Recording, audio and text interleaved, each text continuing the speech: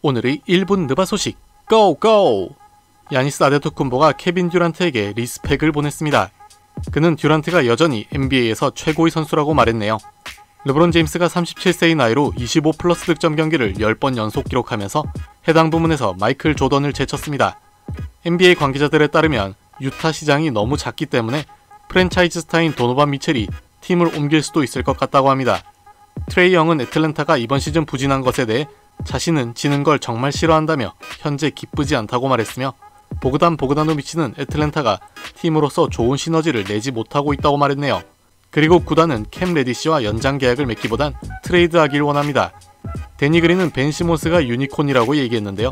6피트 11키를 가진 선수가 그렇게 움직이고 드리블을 친다는 것은 말도 안 되는 것이라 덧붙였습니다.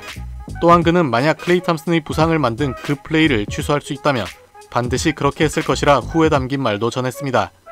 뉴욕 관중들에게 입을 다물라는 제스처를 취했던 줄리어스 랜들이 결국 팬들에게 사과하고 2만 5천 달러의 벌금까지 물게 되었습니다. 라바볼은 다리우스 갈랜드가 이번 시즌 올스타에 뽑혀야 한다고 말합니다.